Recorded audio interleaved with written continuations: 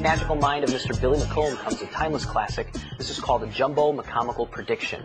The McCombical prediction is with two packets of cards. You see I have reds and I have blues. Now you bring up a spectator.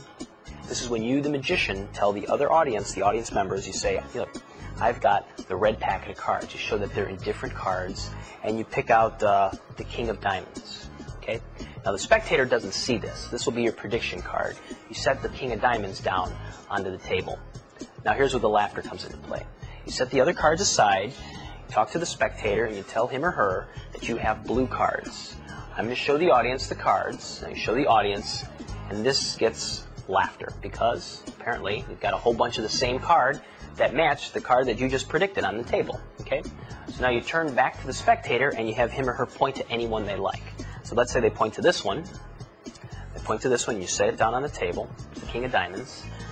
Now you're all set to reveal the selection and the prediction. So you turn to the spectator and say, you know what? You point it to that card right there. Let's see what it is. You pick it up. It's the Ten of Clubs, right? That's when you turn this one over and you say, well, the entire time I put a prediction, and the funny thing is, it happens to be the Ten of Clubs too. So it's a nice sucker trick. The, spectator sees a wonderful trick, the audience sees an even better trick, and you bow to your no doubt again thunderous applause, and it's called the Comical Jumbo Prediction from Fun Incorporated.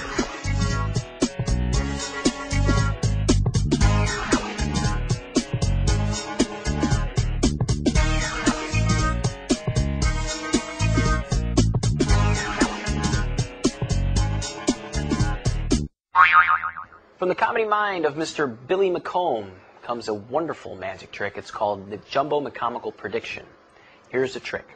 Now the spectator shows two packet of cards. I'm sorry, let me start again because that's not the spectator. I'm the magical person. And go. From the magical mind of Mr. Comedy Magical Person, that's such a slam dunk of a guy. Let's do it again.